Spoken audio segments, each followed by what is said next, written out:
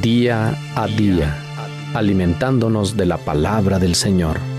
En la voz de Monseñor Enrique Díaz, fortalezcamos nuestra fe. Seamos testigos de Jesús vivo y resucitado. Es tiempo de preparar el camino del Señor que se acerca.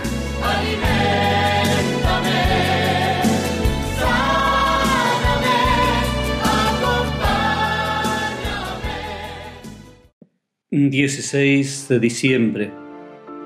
Ven Señor y no tardes.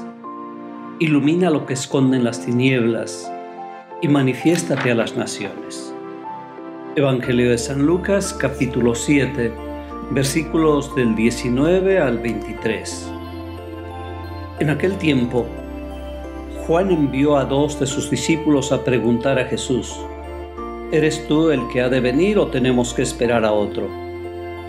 Cuando llegaron a donde estaba Jesús le dijeron, Juan el Bautista nos ha mandado a preguntarte si eres tú el que ha de venir o tenemos que esperar a otro. En aquel momento Jesús curó a muchos de varias enfermedades y dolencias y de espíritus malignos, y a muchos ciegos les concedió la vista. Después contestó a los enviados, vayan a contarle a Juan lo que han visto y oído. Los ciegos ven, los cojos andan, los leprosos quedan limpios, los sordos oyen, los muertos resucitan, y a los pobres se les anuncia el Evangelio. Dichoso el que no se escandaliza de mí. Palabra del Señor. El adviento está centrado en la persona de Jesús y en los valores del reino. Pero, como ya hemos visto, hay figuras que nos ayudan a descubrir cómo se va preparando la llegada del reino y la presencia de Jesús.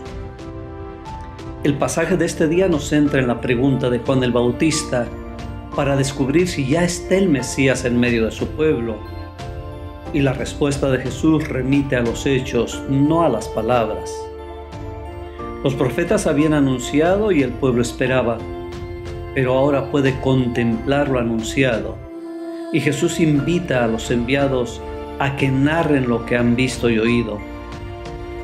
Cuando se trata de los valores del reino, es peligroso enseñar algo si no se está viviendo. En primer lugar, porque para que haya fruto debe haber vida, ya que el fruto es el resultado de un proceso donde se conjugan los elementos biológicos con las circunstancias favorables. Pero si no se lleva vida por dentro, por más circunstancias favorables que haya, en cuanto a las plantas sería el agua, el calor, la lluvia, etc., no puede haber frutos. Así también una persona no puede dar frutos por más circunstancias o apariencias favorables que la rodeen. Puede aparentar muchas cosas, pero al final se encontrará estéril. En segundo lugar, deben ir muy unidas las palabras y los hechos, porque en cuanto a los valores del reino, solo serán creíbles cuando se manifiesten en hechos y no cuando se visten de palabras, por más bonitas que éstas sean.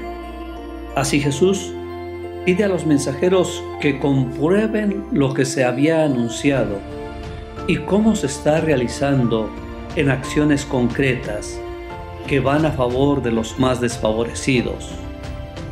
Los ciegos, los cojos, los leprosos, los muertos, son testigos de que una nueva vida ha llegado.